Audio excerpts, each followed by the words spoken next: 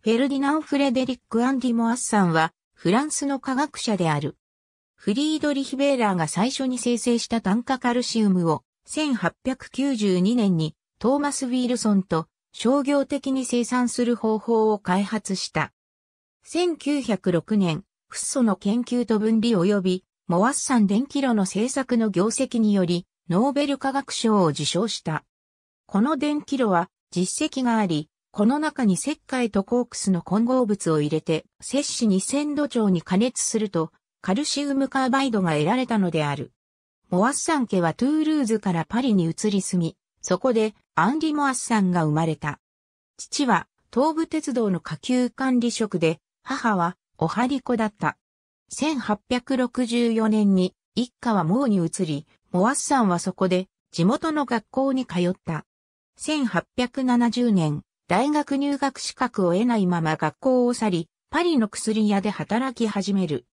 そこで、ヒ素中毒の人を助けるという体験をし、科学を勉強することを決心した。まず、エドーモン・フレミーの研究室で学び始め、後に、ピエール・ポール・ディ・ヒレインに指示した。ディ・ヒレインは彼に学歴をつけるようと寄付せた。モアッサンは大学入学に必要なバカロレアを何度か失敗した末の1874年に取得した。1874年、モアッサンはディヒレインと共同で初めての学術論文を発表した。それは植物における二酸化炭素と酸素の代謝についての論文だった。その後、植物生理学から無機化学へと転校し、自然発火性の鉄に関する研究が当時のフランスの無機化学をリードしていた二人の科学者、アンリ・サンクレール・ドビーユとアンリ・ドブレに注目された。1880年に博士号を取得すると、ある研究所での職を友人から紹介された。1882年に結婚、1885年に息子が生まれている。1880年代のモアッサンは、フッ素の研究、特にフッ素の分離に注力していた。モアッサンは自前の実験室を持っておらず、シャルル・フリーデルラの実験室を借りていた。そこに90個の分全電池を使った強力な電池があり、モアッサンは酸塩化ヒ素の電気分解によって気体が発生する様子を観察できた。その気体は酸塩化ヒ素に再び吸収される。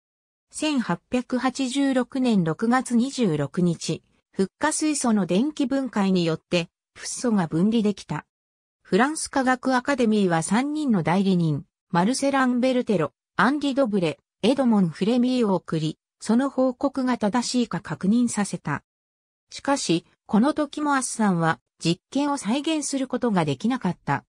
実は、最初の実験でフッ素が得られたのは、フッ化水素に不純物として、フッ化カリウムが含まれていたせいであり、今回の実験では、それが含まれていなかった。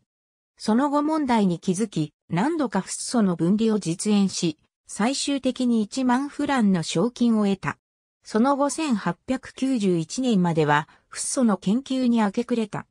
モアッサンは様々なフッ素化合物を発見しており、例えば1901年には、ポール・ラボーと共に6フッ化イオを発見した。1900年までに220アンペア、80V の大電力で摂氏3500度の温度に達する電気炉を開発し、酵素や人工ダイヤモンドを作り出す研究を行った。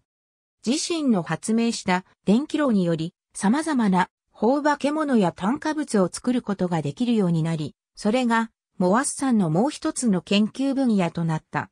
1906年にフッ素の研究と分離及びモアッサン電気炉の製作の業績によりノーベル化学賞を受賞。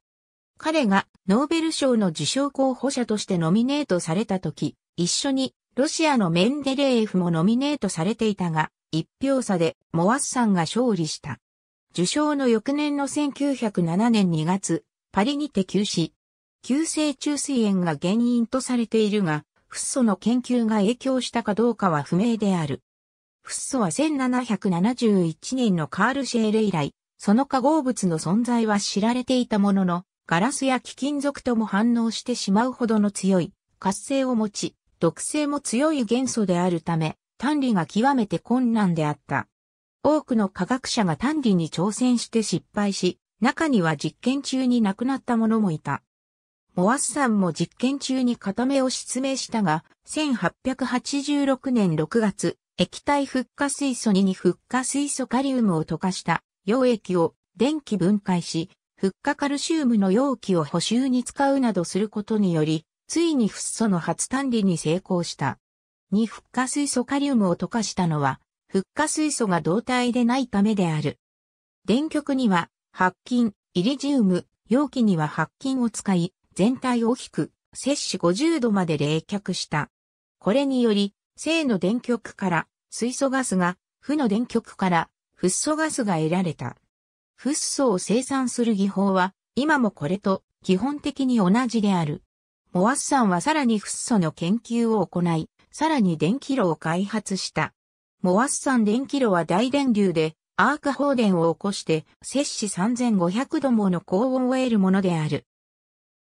モアッサンはモアッサン炉を使って鉄と炭素を溶解させた後急冷し、金属の収縮圧でダイヤモンドを合成する実験を行った。